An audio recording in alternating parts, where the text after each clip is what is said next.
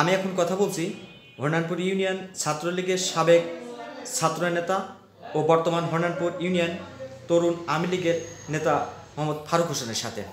জি ভাই কেমন আছেন আপনি? জি ভালো আছে। আপনি কেমন আছেন ভাই? তো ফারুক ভাই আজ বাইশ আঠাশে নভেম্বর দু হাজার উনিশ।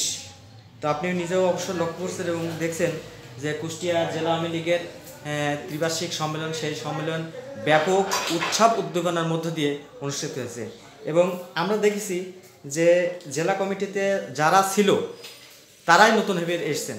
সেই ক্ষেত্রে আপনি এদেরকে আপনি কী হিসাবে মূল্যায়ন করছেন, এ সম্পর্কে একটু আমাদেরকে বলবেন। ধন্যবাদ রফিক ভাই। একটা সুন্দর প্রশ্নের মাধ্যমে আমাকে সেই প্রশ্নের উত্তর দ্বিখণ্ডিত করার জন্য, সুযোগ দেওয়ার জন্য। আপনি জানেন যে বাংলাদেশ আওয়ামী লীগের কেন্দ্রীয় কার্যনির্বাহী পরিষদের মাধ্যমে সারা বাংলাদেশে বাংলাদেশ আওয়ামী লীগের ওয়ার্ড থেকে জেলা পর্যায়ের কমিটি শুরু হয়েছে। তারই পরিপ্রেক্ষিতে আজ কুষ্টিয়া জেলা আওয়ামী লীগের ত্রিবার্ষিক সম্মেলন অনুষ্ঠিত হয়েছে। এই সম্মেলনের মাধ্যমে আজকে একটি জিনিস পরীক্ষিত হয়েছে।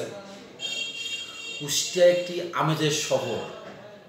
কুষ্টিয়া সৃষ্টি হয়েছে রঙিন শহর, রূপালী শহরে। যেটা সত্যিকার অর্থে প্রতিটা মানুষের হৃদয়ে একটা দাগ কেটে গেছে। দাগ কেটে গেছে জি। একটা সুন্দর একটা আলোড়ন সুন্দর একটা মুহূর্ত সুন্দর একটা মনোরম পরিবেশের সৃষ্টি হয়েছিল আর বাংলাদেশ আওয়ামী লীগ এশিয়া মহাদেশের মধ্যে সর্ববৃহৎ সংগঠন।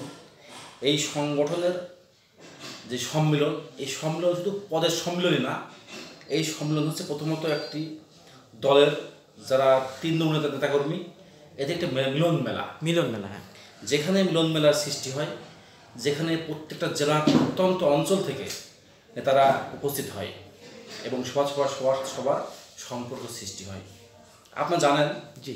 যে বাংলাদেশ আওয়ামী লীগের সভাপতি বর্তমান বাংলাদেশের তিন তিনবার হ্যাট্রিক ম্যান যাকে আমরা বলি বাংলাদেশ ডিজিটাল বাংলাদেশের উপকার যিনি জাতির পিতা বঙ্গবন্ধু শেখ মুজিবুর রহমানের সুযোগ কন্যা, যার মধ্যে বঙ্গবন্ধুর যে আদর্শ, বঙ্গবন্ধুর যে অবস্থান দেখা যায় আমরা দেখতে পাই। তার যে বর্তমান ভীষণ, বর্তমান অবস্থান, সন্ত্রাস চাঁদাবাস মাদক, টেন্ডারবাজ মুক্ত বাংলাদেশ গঠনে তিনি এখন সবচেয়ে বেশি আলোড়ন সৃষ্টি করেছেন বাংলাদেশের মধ্যে। তারই পরিপ্রেক্ষিতে বর্তমান প্রত্যেকটা উপজেলা ইউনিয়ন ওয়ার্ড এবং জেলা পর্যায়ে যে কমিটি হচ্ছে এখানে যে প্রতিফলন ঘটছে। যাদের মধ্যে এইগুলো এইসব দুর্নীতি আছে এইসব অভিযোগ আছে তাই কমিটিতে আসছেন না। বা দেওয়া হচ্ছে না তাদেরকে। যার পরিপ্রেক্ষিতে দেখছেন যে আমাদের অনেকগুলো উপজেলা ইউনিয়ন হয়েছে এখানে অনেকেই বাদ পড়েছে। তাদের মধ্যে এই গুণ রয়েছে বলে বাদ পড়েছে। তাই মনে করি ঠিক তারই রূপে বাংলাদেশ আওয়ামী লীগ কুষ্টা চষার কাজ কমিটি হয়েছে। এই কমিটি যারা এসেছেন, যিনি সভাপতি হয়েছেন, আপনারা জানেন যে তিনি একটা পরীক্ষিত সৈনিক, কুষ্টিয়া জেলার পরীক্ষিত সৈনিক। বঙ্গবন্ধুর আদর্শকে বুকে ধারণ করে রাজনীতি করেন। তাকে বলা হয় কুষ্টিয়া জেলা আওয়ামী লীগের লৌহ মানব তিনি বেশ কয়েক বছর, বেশ কয়েক ট্রাম খুকশো উপজেলা আওয়ামী লীগের সভাপতি ছিলেন এবং বারবার নির্বাচিত উপজেলার চেয়ারম্যান সদর খান এর আগেও কুষ্টিয়া জেলা আওয়ামী লীগের সভাপতি ছিলেন। তার নেতৃত্বে কুষ্টিয়া যে চারটি সংসদীয় আসন আছে, এই চারটি আসন কিন্তু আমাদের যে মহাজোট আওয়ামী লীগের সাথে যারা আছেন, তাদের মহাজোট পেয়েছে। তেমন তিনটা, চারটা নৌকা প্রতীকে জিতে আমরা জিতে জয়লাভ করেছি। পাশাপাশি যিনি আজকের ত্রিবার্ষিক সম্মেলনের মধ্যে দিয়ে সাধারণ সম্পাদক হয়েছেন, তিনি খোকসা থেকে শুরু করে দৌলতপুর থেকে শুরু করে খোকসা পর্যন্ত প্রতিটা গ্রাম, প্রতিটা মহল্লা, প্রতিটা ইউনিয়নের নেতা, যার পদচালনা নেই, এমন কোনো গ্রাম নেই, এমন কোনো মহল্লা নেই। বীর মুক্তিযোদ্ধা আজগর আলী, যিনি বয়সে বয়সে অনেক ভারী হলেও তার মধ্যে দেখা যায় যে তরুণের উদ্দীপ্ত। তিনি তরুণদের নিয়ে কাজ করতে পছন্দ করেন। যারই পরিপ্রেক্ষিতে বিগত কমিটিতে অনেক ছিলেন যারা ছাত্রলীগ থেকে এসেছেন আমি উদাহরণ দেব শেখ হাসান মেদি ভাইকে, যিনি আজও কিন্তু তাদের সম্পাদক পদপ্রার্থী ছিলেন। তিনি কিন্তু ওখানে এসছেন আজকের এই বাংলাদেশের রূপকার প্রধানমন্ত্রী শেখ হাসিনা। যে তরুণদেরকে আগ্রহ করছে বাংলাদেশ আওয়ামী লীগে তাদের অবস্থানের জন্য। এবং টেন্ডার বাস মাদক সন্ত্রাস মুক্ত করার জন্য শিক্ষিত সমাজ, ডিজিটালাইজেশন সমাজ এদেরকে বাংলাদেশ আওয়ামী লীগের মধ্যে আবির্ভূত করার জন্য। আমি আশা করি এবার যে কমিটি হয়েছে কুষ্টিয়া জেলা আওয়ামী লীগের, বিগত কমিটির প্রতিফলন হয়েছে। সামনের নির্বাচনে আমরা যে যেভাবে বিগত নির্বাচনে আওয়ামী লীগ তাদের নেতৃত্বে যারা করেছে, সামনের নির্বাচনগুলোতেও এদের নেতৃত্বে আশা করি খুব সুন্দরভাবে আমরা জয়লাভ করতে পারব।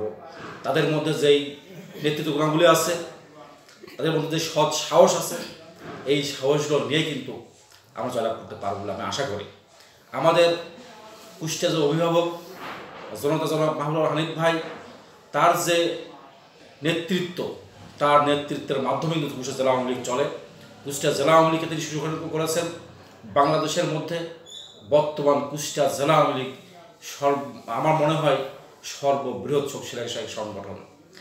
এই সংগঠনের মূলে কিন্তু রয়েছেন আমাদের প্রিয় নেতা কুষ্টিয়ার উন্নয়নের উপকার, কুষ্টিয়ার মানুষের পাশে দুঃখে মানুষ, যার কাছে গেলে পর মানুষ তার কার্যক্রম খুব অতি সহজেই পাওয়া যায়, সেই ব্যক্তি প্রিয় নেতা মাহবুল হানিফ ভাই। হানিফ ভাইয়ের চিন্তা চেতনা কুষ্টিয়া জেলা আওয়ামী লীগকে কীভাবে সুসংগঠিত করা যায়, তারই ফটো দেখেছেন আপনি, যে বাংলাদেশের অনেক জেলা আছে, যেগুলো জেলায় কিন্তু আমাদের যে আওয়ামী লীগের যে জেলা আওয়ামী লীগের অফিস এখন অফিস কোথাও নেই, যেটা কুষ্টিয়াতে আছে। আর এই বর্তমান কমিটি, আমি মনে করব যে এই কমিটি তরুণদেরকে মূল্যায়িত করবে, তরুণদেরকে এখানে নিয়ে আসবে। বর্তমান যে বিজ্ঞান প্রযুক্তির যুগ, এই যুগের সাথে তাল মিলিয়ে তরুণদেরকে এনে শিক্ষা ব্যবস্থাকে সুন্দর করে এই কমিটি চলবে এবং বিগত যারা যেভাবে চলছে, এইভাবে তারা বারবার সুন্দর অবস্থানের সৃষ্টি করবে। সুন্দর অবস্থান সৃষ্টি করার মধ্য দিয়ে বাংলাদেশ আওয়ামী লীগ হবে। বাংলাদেশ আওয়ামী লীগ হবে জনতার দল। বাংলাদেশ আওয়ামী লীগ হবে বাঙালি চোদ্দ কোটি, ষোলো কোটি মানুষের দল। ধন্যবাদ। ফারুক ভাই আমরা প্রত্যাশা করছি যে নতুন হিসেবে যারা কমিটিতে এসেছেন, তারা যাতে সুন্দরভাবে দলটাকে পরিচালিত করতে পারে সেই প্রত্যাশা আমরা করি। ধন্যবাদ আপনাকে। ধন্যবাদ আপনাকেও।